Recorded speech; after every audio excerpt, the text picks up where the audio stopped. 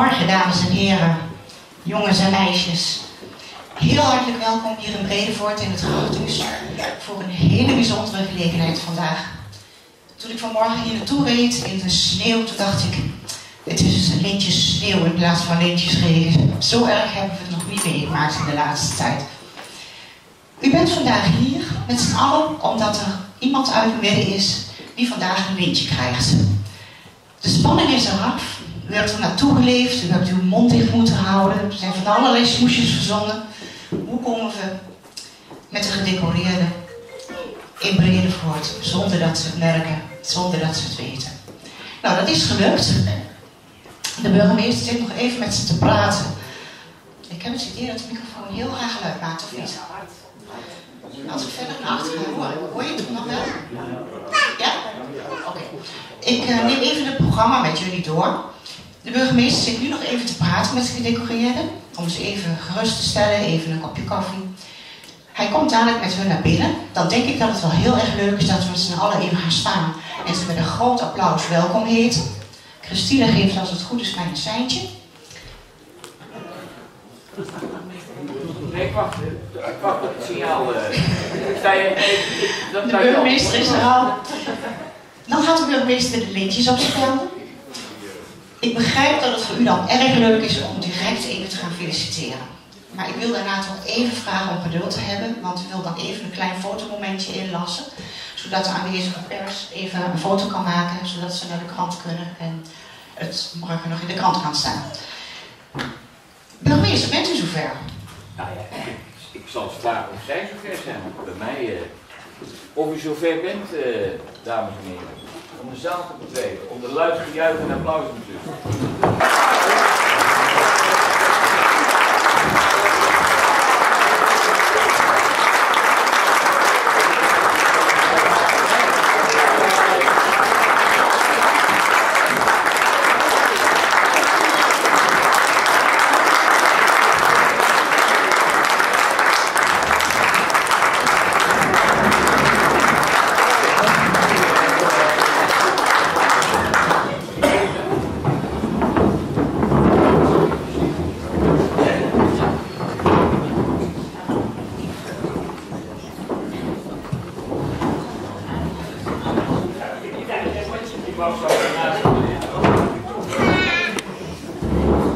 Nou, dan mag ik u vier ook nog even heel bijzonder welkom heten.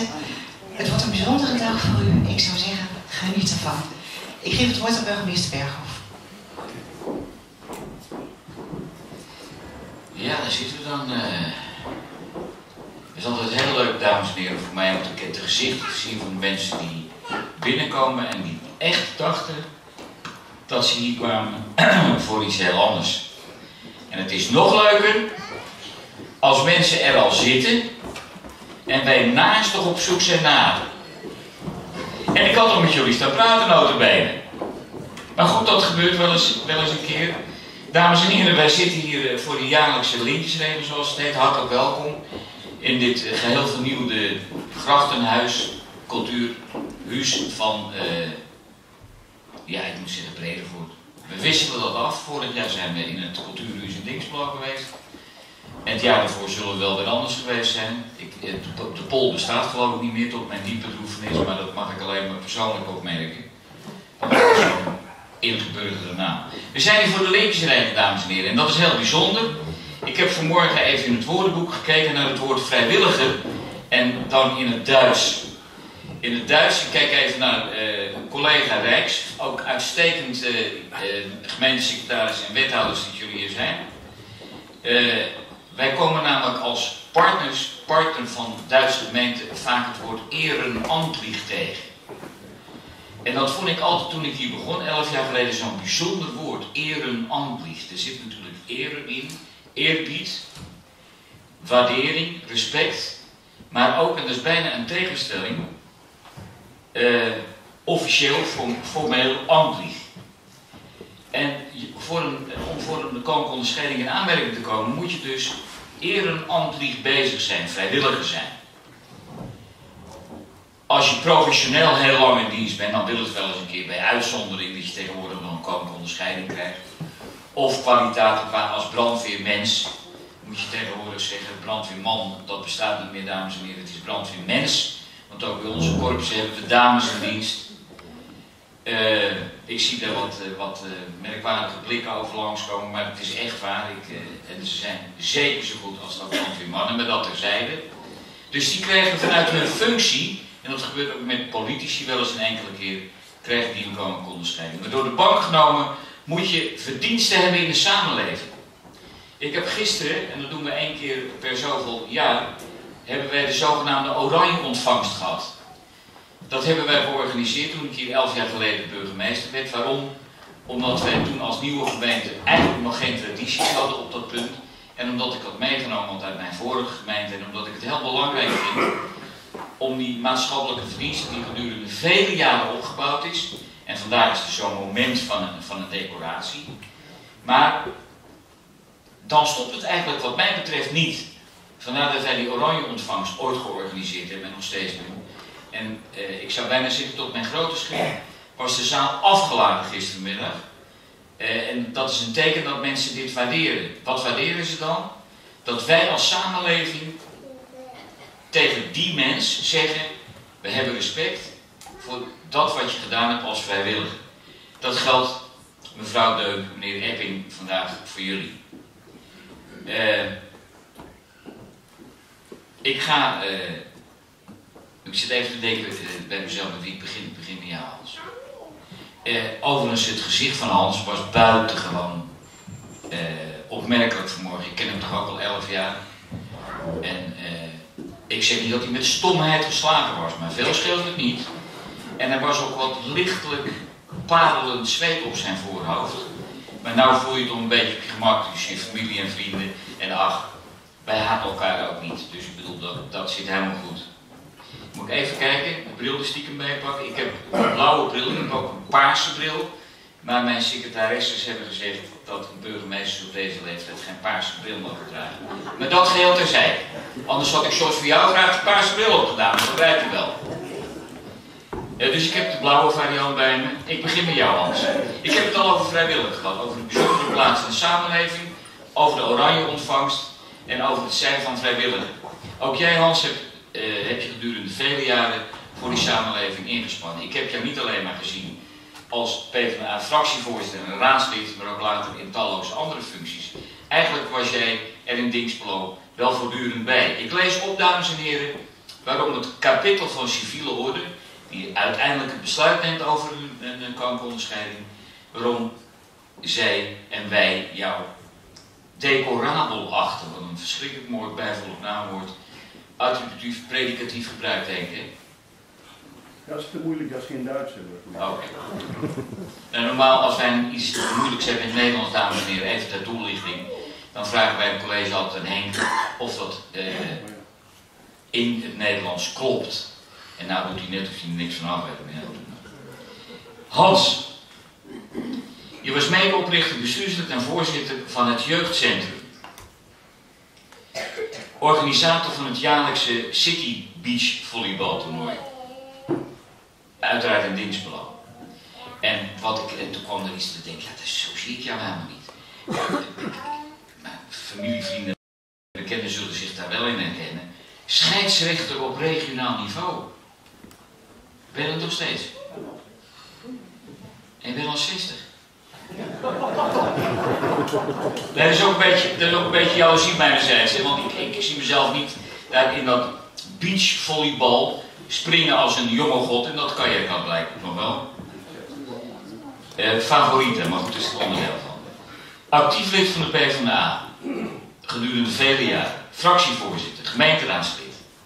Ook penningmeester op dit moment begrijp vanaf 2010 tot nu penning, penningmeester. En wie het geld heeft, heeft de macht, denken sommigen onder ons. Ik zal geen namen doen. Ik kijk wel naar iemand. Je bent voorzitter van de Stichting Maatschappelijk Welzijn en Dienstbeloon. Vanuit die positie heb je ook de afgelopen maanden, weken onderhandeld uh, over de, de, toekomst van het cultuurhuis. En de mensen in Dingsbelo weten dat het een hele heisa is om dat voor elkaar te krijgen. En daar heeft uh, Hans met de zijne, ik zie de Brugge hier ook, met de hunnen, want dat hebben ze niet alleen met z'n tweeën gedaan, eh, zeer actief geweest. En in die hoofd ook bestuurslid van de Stichting Cultureel Cultuurhuis Dingsbelo. En dat is mooi wat hier staat. Hij heeft gezorgd dat er financiën kwamen om in Dingsbelo een verenigingshuis te bouwen, op te knappen. Hij vroeg, ja, zo staat het hier hoor, ik heb het niet aangevraagd Hans. Hij vroeg gemeentelijke en provinciale subsidies aan en verzorgde daarnaast fondsfinanciering. Toch niet zijn eigen zak. Nee. Dat laatste, dames en heren, moet ik toch even vertellen. Dat heeft erin geresulteerd dat, het, uh, uh, dat we besloten hebben, en we zijn de raad van de gemeente Aalten, om wat Hans en Henkie en al die mensen daaromheen in Dingsbrouw. Nogmaals, wij doen het nooit voor onszelf, wel met onszelf, maar vooral ook met anderen. Een bedrag van uh, 3 ton beschikbaar hebben gekregen om de finale, om de laatste afbouw van dat cultuurhuis te realiseren. En daar hebben jullie, en ik kijk toch ook even naar je medebestuurslid, een geweldige bijdrage aangeleverd. En ik zeg het al, dames en heren, dat kan je nooit alleen. Ik weet van je vrouw, ik, ben, ik kan me nog ooit herinneren dat ik jullie op bezoek geweest ben thuis hoe actief je meegedacht hebt met Hans. Eh, dat is in mijn leven zo, dat is in het leven, eh, als je mensen om je heen mag hebben die je steunen, altijd zo. Dat het heel belangrijk is dat je vanuit het thuisfront, ook al wordt er wel eens gezegd, moet je nou alweer weg? En er komen soms een aantal zinnen achter, maar die zal ik niet, niet herhalen hier. Eh, dus dat betekent dat ik jullie eigenlijk alle twee in de zorg wil zitten. En daarom vraag ik je om hier te komen. Je hebt een jasje aan met makkelijk speltje erin te jagen, zie ik al. En we gaan dat proberen. Dames en heren, eerst een applaus voor het echtpaar Ebbing.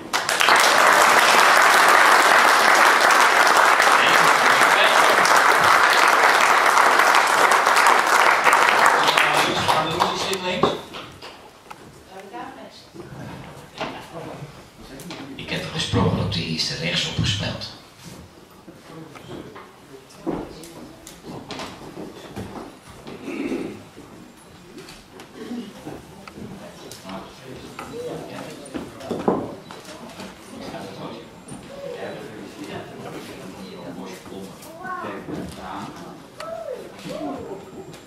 Nogmaals, daar staat.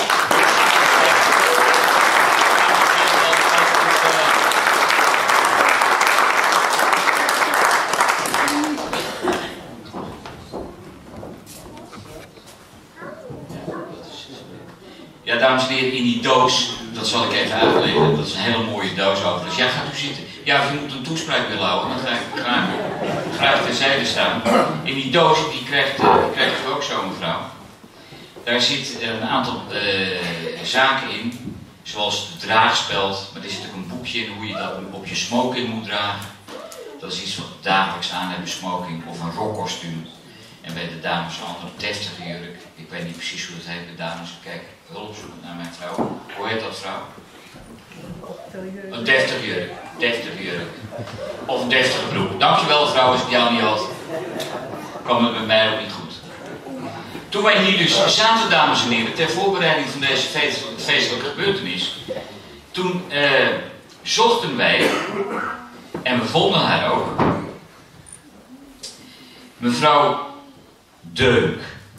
Ja, ik moet er heel erg goed oppassen dat ik het goed uitspreek, want anders krijg ik een nek van alle mensen om me heen. Toen zochten wij mevrouw Deuk en ik zei tegen eh, Christine en Annelies, uh, als altijd uh, getrouw aanwezig en ondersteunend aan, uh, aan, dit feest. Van joh, is die mevrouw er nog niet? En kort tevoren had ik met jou staan praten, omdat wij elkaar natuurlijk regelmatig in het maatschappelijk terrein treffen. Of het nou bij de SSGR is of bij, bij Oranje ontvangsten. En op een gegeven moment, toen toverde je jezelf tevoorschijn, laat ik maar zo zeggen. En het leuke is, dat uh, toen we uh, Annelies Westerveld uh, vorig jaar, denk ik, bedachten in Ommen, en dan moet je als je dit buiten je gemeentelijke onderscheiding verleent, moet je dat altijd aan de burgemeester daar vragen. Dat vond hij goed. Bij de Annelies heeft weer verstopt natuurlijk. Ja, en dan was met de familie Westerveld, daar hebben we het ook nog even over gehad, een onvoorstelbare feestelijke gebeurtenis, want jullie dat ook toen niet verwachten. En dat is hetzelfde god voor jou. Het is langzaam to tot je doorgedrongen, net als bij Hans trouwens. Mag ik je tegen u zeggen, want ik ben heel erg, sorry, ik ben heel erg van het tutoyeren. Geldt voor mij ook, hè. Plattelandsburgemeesters hebben de dat nog niet, dat heel erg u. Althans, ik niet. Misschien mijn opvolger wel, maar dat weet ik niet. Ja, ja dat kan. Dat kan. Maar toen eh, dat, dat eh, enorme nog niet weten en langzaam doordringen. Eh, ik vroeg aan je van, eh, je realiseert je wel waarom je hier zit. En ja, het was langzaam tot je doordrong. Helemaal goed. En mevrouw Deuk, dames en heren, die heeft heel veel jaren, ook en dan gaat hij weer, ehrenamtlich, en ik mag dat niet steeds pikken van mijn uh, Duits, Duitse collega's, zich ingezet voor de samenleving. Als vrijwilliger. Daarom leg ik ook al even de connectie met mevrouw Westerveld. Ja, dat weet ik, met Annelies. Uh, ook jij hebt een indrukwekkende staat van dienst, net als je mededecorant. Dus, je was en je bent, volgende week of over 14 dagen ga je weer uh, erheen, vrijwilliger bij het IK Achterhoek Limers.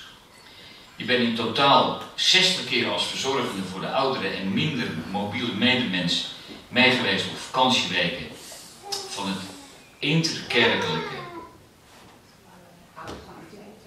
Dank. Achterhoek en Limers. Kijk eens ik jullie niet had gevangen. Dankjewel.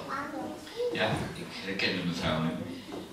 Toen ik mijn auto scheef parkeerde. Toen, uh, vrijwilliger bij het verzorgingshuis Hogeveld. Naast haar betaalde werkzaamheden heeft zij onder andere jarenlang meegeholpen bij de huisomroep, de radio huisomroep. Vrijwilliger sorry, bij de Nationale Vereniging de Zonnebloem, afdeling Aalten. Je bezoekt mensen. Uh, even kijken.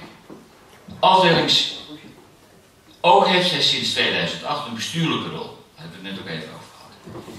Zij begeleidt en stimuleert de afdelingsvrijwilligers bij hun werkzaamheden.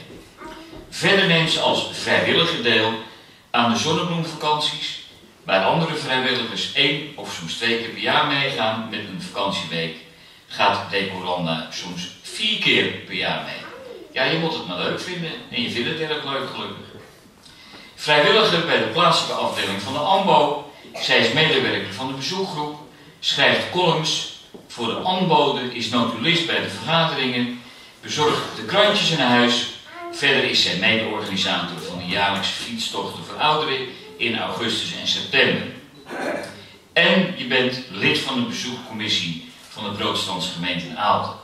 Dit is een mevrouw, dames en heren, dat als je het belt, dan zegt ze niet snel nee.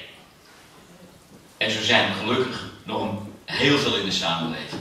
Ik hoef niet de rol van de vrijwilliger in dit tijdsgericht uit te leggen. Ik vraag jullie, Henk, wij om hier te komen. En uh, dan zal ik de precieze opspelling horen bij lid in de orde van Oranje Nassau, ook links.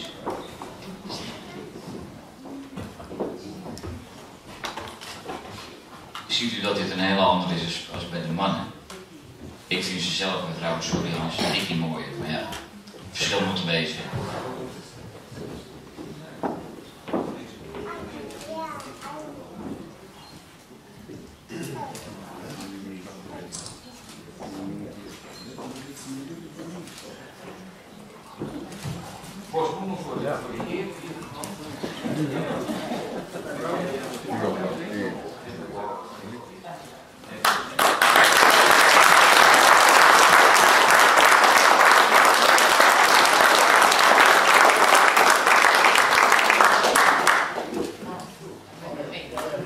Gaat u zitten. Of u moet ook de behoefte hebben om de microfoon te pakken. Dat mag hoor. Oh, vandaag niet. Dan, dames en heren, eh, zoek ik meneer Elfering. En die vind ik ook. Ik heb eh, ja. Ik ga namens de Zonnebloem eh, nog iets tegen u zeggen. Tegen ons zeggen met een speciaal tegen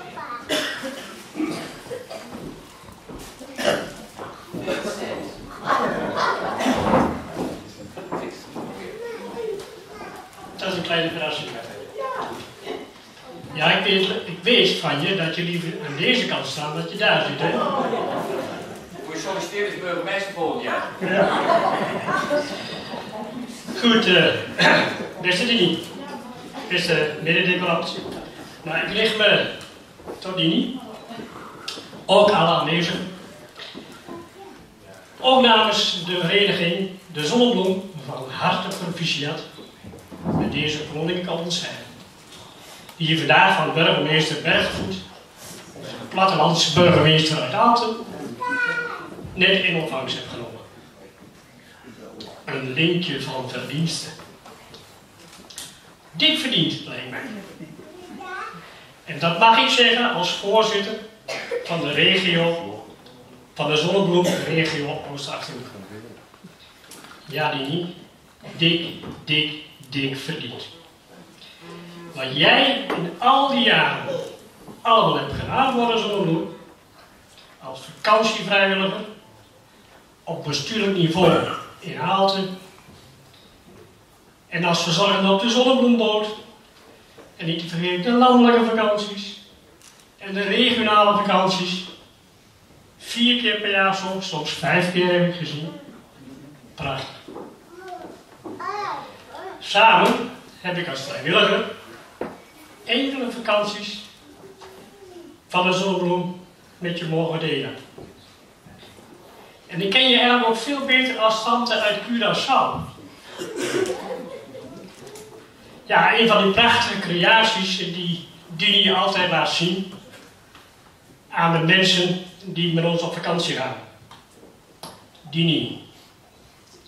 Je hebt een geweldig talent om mensen die met een fysieke beperking niet altijd op vakantie kunnen, een ongelofelijke week te bezorgen.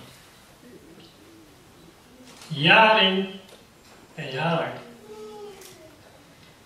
De Vereniging de Zonnebloem is blij met dit soort mensen. En toen er vorig jaar een bezoek binnenkwam voor het ondersteunen, voor een aanvraag voor een koninklijke onderscheiding, was het vanuit de Zonnebloem een volmondig jaar. Dat deze aanvraag voor de koninklijke onderscheiding ook werd gehonoreerd, was voor jou een verrassing, maar niet voor ons. Dini, nogmaals, namens de Zonnebloem, hartelijk gefeliciteerd.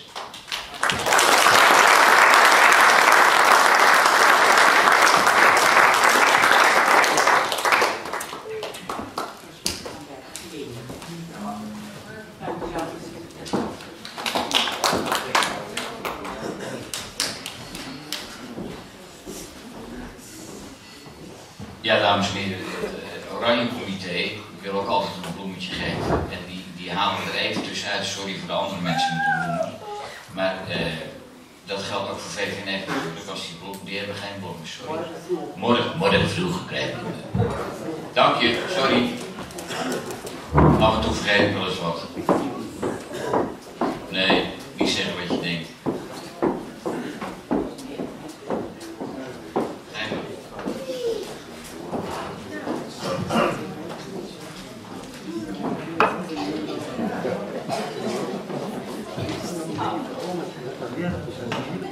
Geen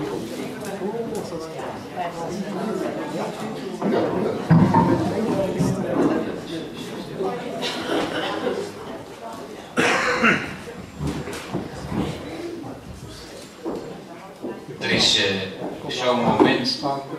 Foto's? Of, of gaan we eerst handje geven?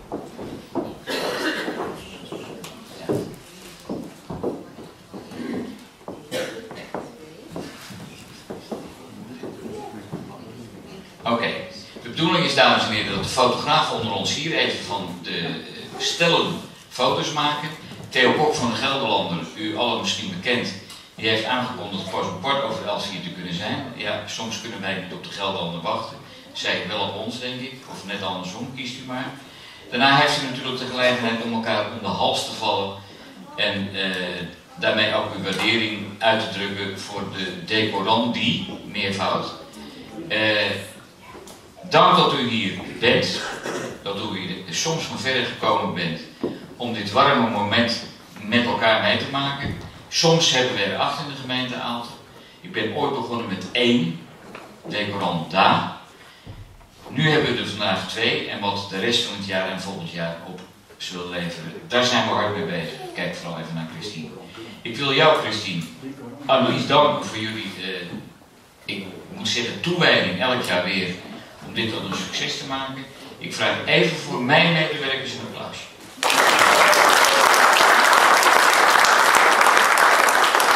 Dankjewel. Dan we Annelies het eh, van nu van mij over. Bedankt dat eh, jullie hier waren. Ik wens jullie een hele mooie Koningsdag morgen. In speciaal jullie eh, bij uitzondering. We zien jullie op de podia van Aalten en of de Dingsbelang verschijnen. Nogmaals, fijn dat u hier was. Hele mooie dagen toegewenst en tot ziens. Ja, dat is wel mooi. Dat is mooi verdeeld.